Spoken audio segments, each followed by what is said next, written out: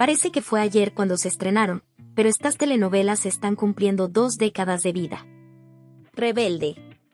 Cuando el exclusivo colegio Huesco abrió por primera vez sus puertas con Mia Colucci, Anaí, Roberta, Dulce María, Miguel, Alfonso Herrera y Diego, Christopher Ackerman. Entre sus estudiantes pocos pudieron prever el fenómeno juvenil y musical en el que terminaría convirtiéndose esta exitosa telenovela de Televisa Univisión de la que surgió el grupo musical RBD. Rubí. Es una descarada por ser la más hermosa, no tiene casi nada pero le gusta la vida cara.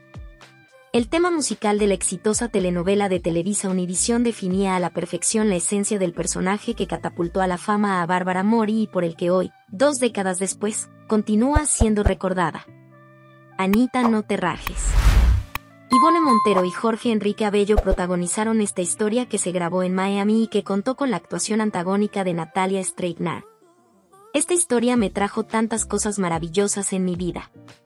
Fue uno de los proyectos más entrañables y bonitos de mi carrera, reconoció Montero. Prisionera.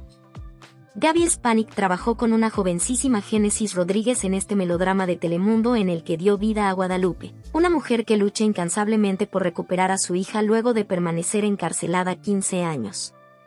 Mujer de Madera.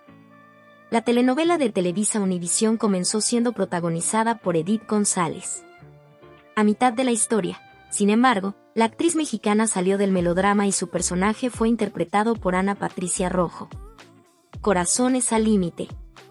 Sara Maldonado y Aarón Díaz fueron los protagonistas de esta telenovela juvenil de Televisa Univisión en la que los deportes extremos tuvieron su espacio.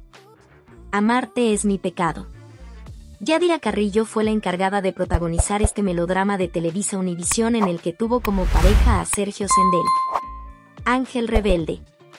El creador de exitosos títulos como Gata Salvaje y Secreto de Amor, Alberto Gómez, firmó esta historia que protagonizaron Gretel Valdés y Víctor Noriega en Miami.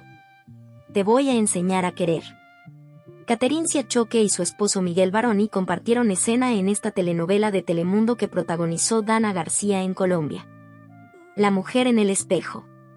Tras el éxito de Pasión de Gavilanes, Paola Rey dio vida a Juliana y Maritza en esta historia de Telemundo en la que repitió pareja con Juan Alfonso Baptista.